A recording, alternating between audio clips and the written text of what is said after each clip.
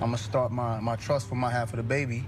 And just get the ball rolling, you know what I'm saying? Okay, there ain't no half babies in my bellies.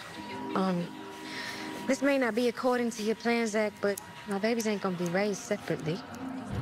Ain't nobody said they was gonna be raised separately. I'm just He just found out that he was the father of one of my babies, and now he's over here doing too much. You hear that? You doing too much. Okay. This reminds me of the famous scene from the notebook. What do you want? It's not that simple. What do you want? What do you want? And I look at Karen and in episode 15, the way she reacted to Aaron for doing too much.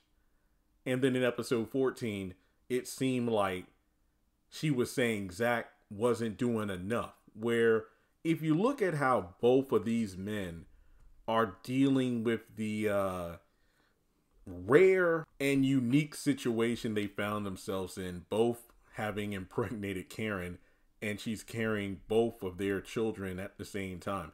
Now, of course, you know, I still wish that Aaron got a DNA test or something to get confirmation that he is the other baby daddy, as opposed to simply going with it because, you know, Karen says so. But regardless, um, I'm thinking about how Zach wanted to make a trust fund for his baby.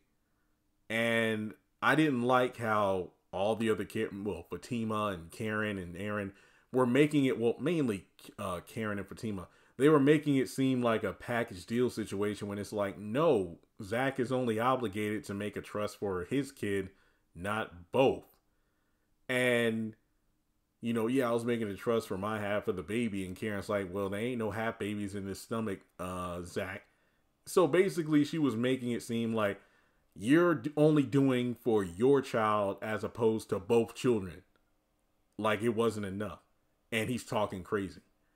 So basically, it's like she was dismissing his idea. Then Aaron comes along in the next episode with a dual stroller, state of the art for both kids. And then not only does Karen dismiss it, but she just flats out goes off and tries to shame him in front of her own mother.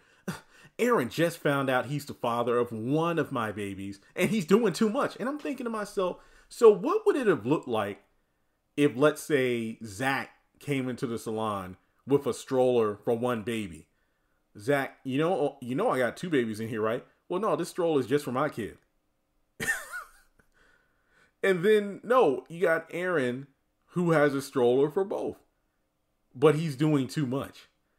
And man, th- this is this is so crazy. And a lot of fans stated this, and I agree. It makes a lot of sense. If Zach was doing everything that Aaron is doing right now, Karen wouldn't have a care in the world. She would just be eating it up. But the ironic part is, the man that she seemingly wants all this stuff done by, aka Zach, is a man she will never have all of again due to the fact that he's moved on. And on top of that is only the father of one of the kids. So any sort of affection and whatnot will only be stemmed from the child, like, you know, oh, well, I love her as the mother of my child, as opposed to I love Karen. But then the guy who is emotionally available and is willing to be there, not just for you, not just for his kid, but for both of those kids, you don't want damn near anything from him. You'd rather have it from Zach, the guy that you can't. Hey, you always want what you can't have. And it just baffles me how Karen is just so wishy washy, hypocritical, indecisive, and bitter. Seriously, her situation is rare, rare, and she should be blessed to have two baby daddies who are more than willing to be there for either one and or both of those kids.